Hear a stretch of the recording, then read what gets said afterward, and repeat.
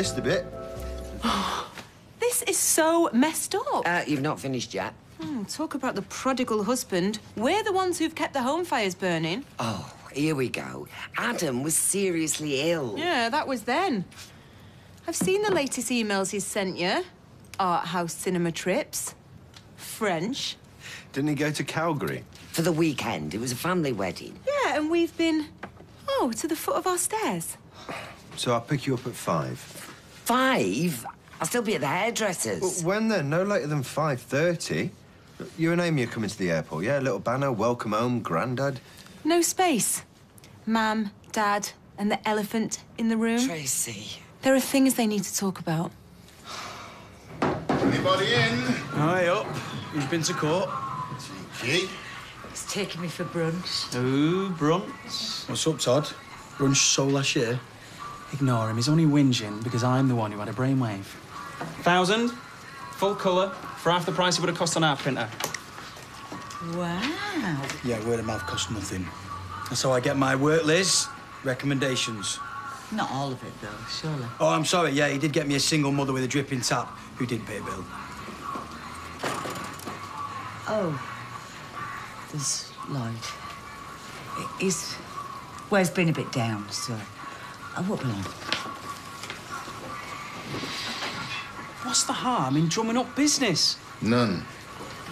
Give the lad a break. He's still learning the ropes. Dad, every penny counts. With a business this size, we have no room for passengers. You take a man's wage, you do a man's job. You can't go out in your slippers. Why? Well, it might rain or uh, there might be glass on the pavement. Walk round it. And what if a policeman sees you? He might put you in jail. He'll probably throw away the key. Kylie, his head's full of enough rubbish as it is. Great, thank you. Thanks, bye. Yes, we're in. Ten past five with Dr. Gadas, but we've got to take him with us. Good they could fit you in. Ugh, It'll be a waste of time. Oh, what? No, your hair's full of rubbish. Right, where's that policeman? Sorry. I just washed it. Well, it'll brush out. You'll be fine. It'll be okay. And will the doctor have a tablet for that? I don't think so. Nothing ventured, nothing gained. well, what's the alternative? We just let him carry on like this. I mean, all we can do is try. Come on, big girl. Max, you get down here now and apologise. Like any normal child.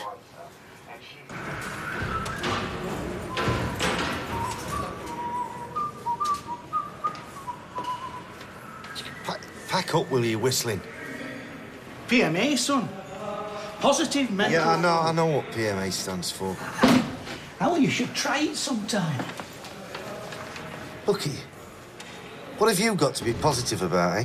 Well, apart from sharing my pad with Manchester's answer to Oliver Reed, Sure. visitors...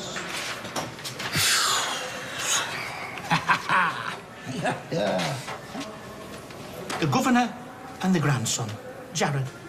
Hey, he's a whiz with the old Minecraft. You should see the worlds he's built. It's no wonder you're knackered. You were fighting dragons in your sleep. Who's Tina? What are you? You witness for the prosecution? Tell you what, oh, Hey. oh, oh, it's called conversation, numpty. You had no visitors today. I'll tell you what, that's where them criminal masterminds went wrong with you. They should have had you as a lookout. No substitute for family when you're bound up. Well, that depends on your family. This is for you. Could be worth a mint in years to come.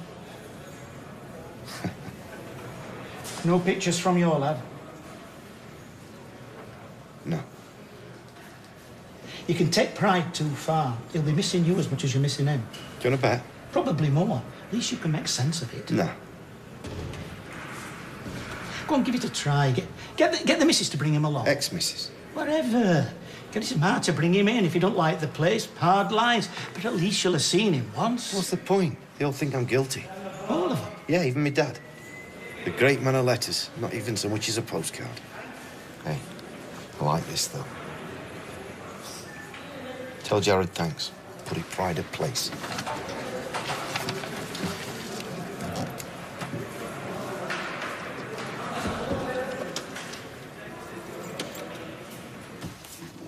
Why are going to the doctor's? I'm not even sick.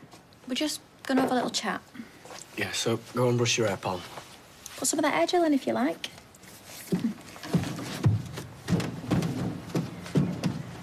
We're going to give him a complex.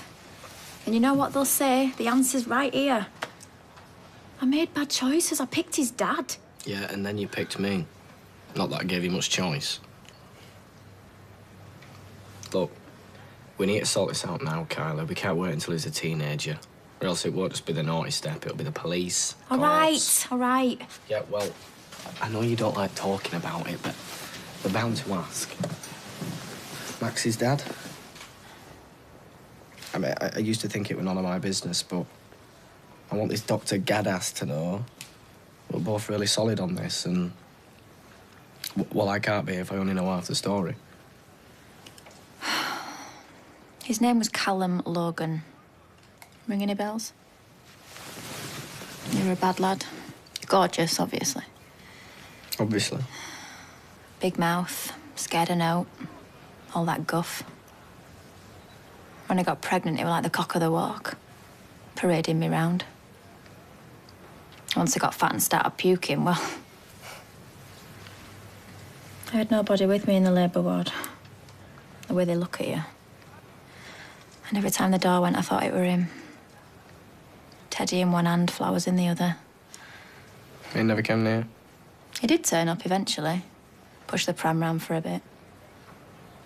Max's hair were purest white. People used to stop us in the street. Novelty soon wore off, though. Callum went out one day and uh, Never came back. after that he would drink. Disaster.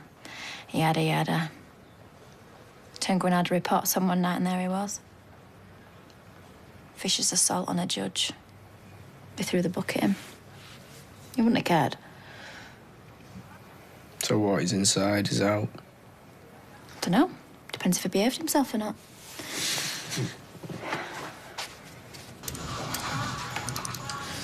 First batch of leaflets delivered. Good to hear. So, what's the system? Um, open letterbox, push paper through.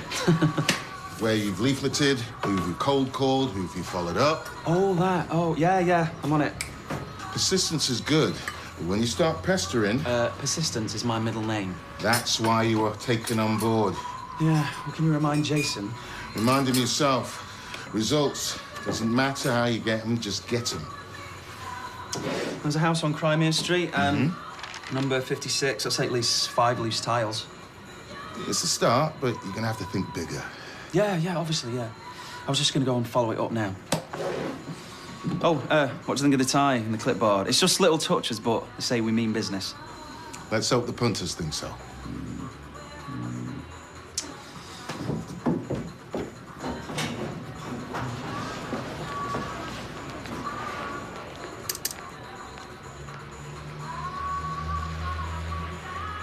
Timesheets in for the school runs? On there. And your bookings for tonight. Mm.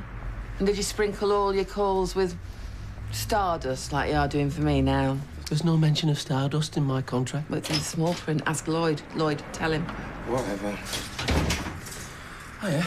I was just passing and I wondered, how would you feel about promoting a dynamic young company in your cabs? What dynamic young comp? In return for discounted building and maintenance work. What a great idea. Hmm? Leave it and cabs, forget it. Yeah, but Just you, have a little think. If I do it for one, I'd have to do it for all of them. Before I know it, every driver will be pushing his cousins, brothers, uncles, garage, car wash, poodle uh, parlour. Not, not necessarily. They'll end up in the bin or on the floor. You sure you don't want to discuss it first with Steve, yeah? Is there an echo in here? No.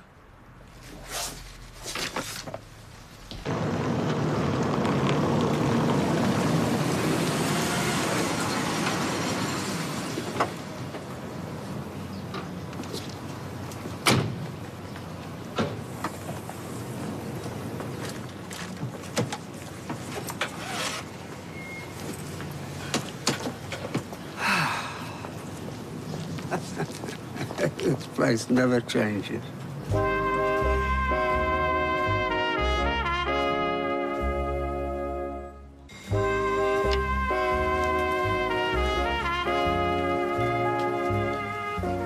Oh, hi. Ken! Ah! Oh. Careful. Oh, no? Careful, you Oh, Ken! Oh, ah. oh, at last. Oh. Can you believe it? How long have you been standing here? Come on, let's get you in. Okay, are you, uh, you coming in? No, no, they've got work to do, haven't you? Yeah. Um, yeah, you'll be shattered. We'll leave you to it. I, I just want to say, Ken, I'm so sorry about Peter. I mean, it must have been a terrible shock, especially long distance. Oh, come on, fingers and thumbs. Uh, shock? No, I'm not so sure. It was probably inevitable. Really?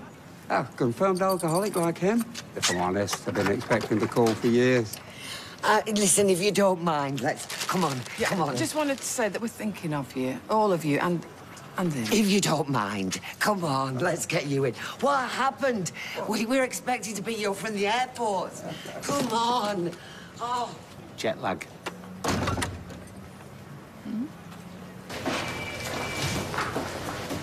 Oh. Allergies. Uh, Max Turner. My goodness. Well, it's what it's there for. Get you all spontaneous in your old age. Hey, what's wrong with wanting to surprise you? Ken? Oh? So we have you to thank for the 50-inch surround sound. Ah, yeah, she's a real beauty, that one. Hey, she's great for the old wildlife programmes. right, let me guess. Your first proper cup of tea. Uh, yeah, I don't know what you miss most, your mother or her Lancashire blend, strong enough to stand a spoon in. Actually, it's fresh Freshco's value. I just keep topping the box up, but he's none the wiser. And is that another little surprise I see? Yeah. Now, why isn't Amy with you? Uh, that's for her. That's for you. Ooh. And uh, that's for you. Thank Really you. large bottle of Chanel. Oh, wow. Ah. Maple syrup. Toronto's finest. Not Chanel. No. and not Canada's finest cognac either. Oh, well, never mind, Tracy. We really liven our bacon eggs up with this. Well, that brings me to my next revelation. I've done a lot of thinking while I've been away, and I have become a, Homosexual. a vegetarian. Oh, have you? Oh, well, good for you. Um, I, I'll just, um... Excuse me? when you come with Amy, I've got some photographs to show you, and we think the Lake District's impressive. Vegetarian? What? Do you think he's in denial? I thought he'd be bouncing off the walls, or at least phoned our local MP. Man, you've not told him yet, have you? Do you know I'm gasping for a pint? The dust in that cell, them gym masters don't cut it, pal. Sorry, that beer'll have to wait. Emergency roofing job. Hey, you start soon. If you pull your finger out, Crimea Street, number 56. Decent money, too. Here's what needs doing. There's what needs loading in the van. Mrs. Gilbert, nice lady. She's expecting you. Right? Now, what have I got I can put in this? Peppers. Peppers. I can fry up some peppers and onions, and, um, I can... Mum, look at you. You're griddling while Rome burns. I'll tell him. I'll tell him if you're too chicken. It's not because I'm scared. I just don't want to be the one who breaks his heart. So, uh, what did you find to do there? Well, for the first six months, I just sat at the bedside, reading, listening to podcasts. You know, on a good day, we're allowed to drive out. Sounds like a lonely life. Um, I'll get it. It wouldn't have suited everybody, that's for sure. But later on, once he was home, He's back. Maria said you were like Usain Bolt when you saw him. You can't come in, I'm afraid, Audrey. He's, he's unpacking, unwinding. No, just two minutes, just to say hello, welcome home. Why don't you come back tomorrow when he's caught his breath? Sorry, Audrey. You didn't perform. well, I did attend the old poetry session, started writing my own.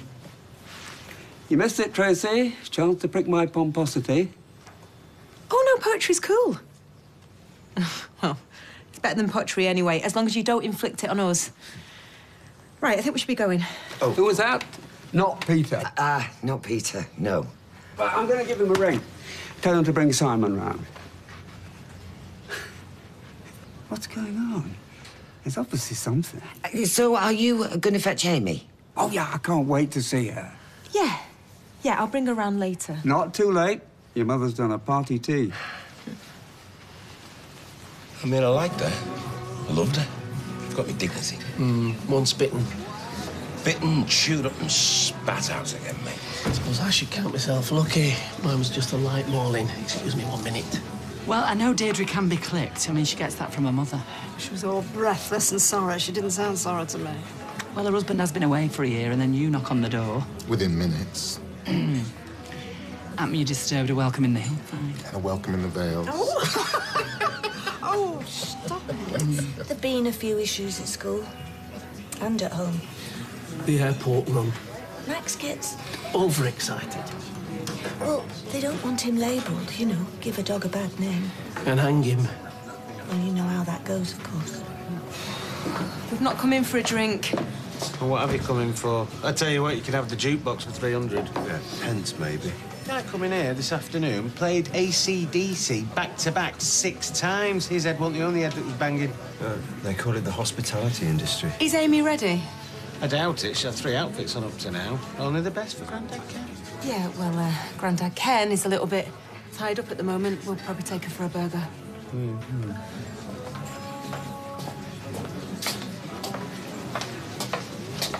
I know my dad looks well, He looks amazing. but he's not a young man. Out of the blue like this, with no warning, this is gonna hit him like a juggernaut. Rob, what if he can't cope? I'm sorry, love. Ken. Should have been Brandy. It was thinking about what you ought to have rather than what you might want. Not the best start. In the great scheme of things. Listen, I've missed you so much. Ken. Oh? Am I not allowed to kiss you? Well, we're not the only ones living here. Oh, yeah, Rob. May I be honest? I don't trust him. Well, nor did I at first, but he's been good to me at a time when I really needed it. Ah, you think I abandoned you? Oh, no, this is not about me. No, no, please, please, love. I've had a lot of time to think this through. Does she want to get out? Now, he's a victim of your own success. He's so steady, so loyal, and I'm taking you for granted. I know that whatever life throws at you, you'll always cope. No, I'm sorry, she's driving me mad. Can you let her? out? Yeah, fine, fine. Here you go, Eccles. Oh, who's left that open? Eccles, no, come back. I've only got my slippers on. Oh, God, come back, you silly dog.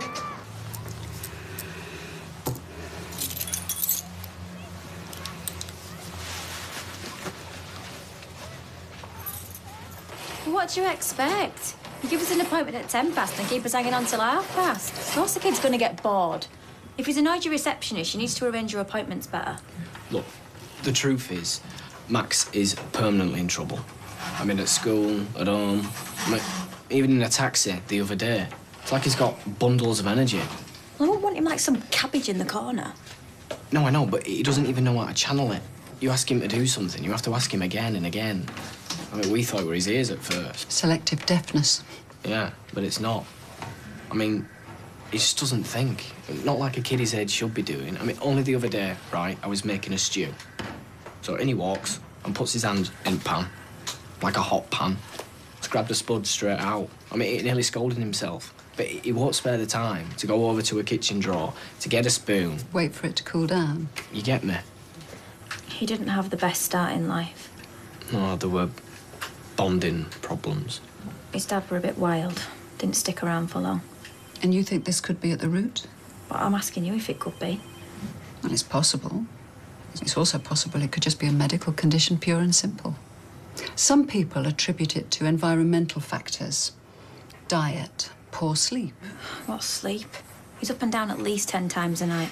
But these symptoms you describe difficulty focusing, impulsivity, insensitivity, getting by without much sleep. That can indicate a condition called attention deficit hyperactivity disorder, ADHD. Great. So he's ahead the ball. Carla? Ken, I, I didn't know you were back. Oh, only just. I'm glad I've seen you. Sure about that? Well, I wondered about ringing, writing, but uh, I didn't know how a letter would be received. Deirdre said you were very definite. About? Split. Uh, Sorry, I'm sorry, but I have to ask. The speed of the turnaround. Are you sure you tried your best to keep that marriage afloat? oh, look, I, I'm sorry, I don't mean to sound judgmental. It, it- it's because I respect you. You're always so on top of Peter's drinking. And then suddenly, overnight, finished. Support withdrawn. Well, and you, you think Peter deserves better? Uh, Well, yes. I don't know what Deirdre's told you, but, but it is way off the mark. I mean, like different planet. I didn't mean to offend you. What exactly has Deirdre told you? Well, Peter had a relapse and you split up. That's it.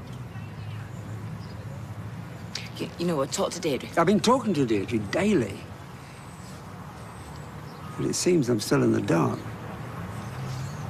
Look, whatever it is that I should know, I want to hear it now. From you. Okay.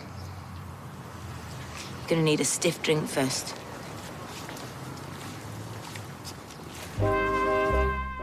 We're back in Coronation Street in half an hour.